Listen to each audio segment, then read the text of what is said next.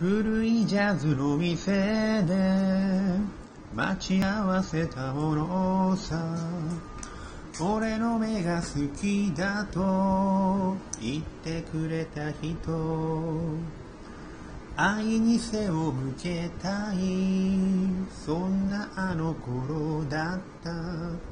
さよならの重さを知らなかったのさ。